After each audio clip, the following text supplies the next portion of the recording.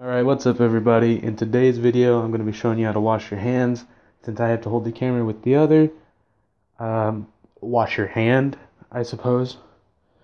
Um, for this video, what you're going to need is an, an advanced sink. Now, what this is, is uh, you can find these at your hardware store. Um, and mine came with blue water. If yours doesn't come with blue water, you might want to go return it.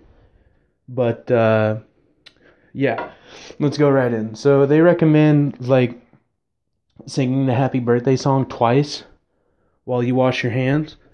So basically, you just uh, um, you just go right in, just uh, just happy birthday to you, happy birthday to you.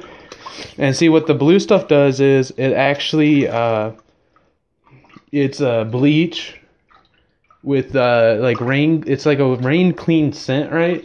And it's supposed to last up to four months. So after you do this, you don't have to wash your hands ever again uh, for four months. Uh, but uh, yeah, it all relies on this equipment, and it actually comes with a uh, handy dandy like flushing thing.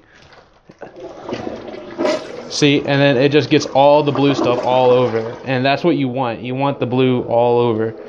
And then you just go again. And then uh, you're good to go.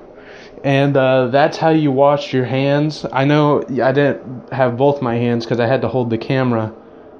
But uh, yeah, that's the end of this video, guys. If you liked it and you want more like this video, uh, subscribe and uh, Thanks for watching.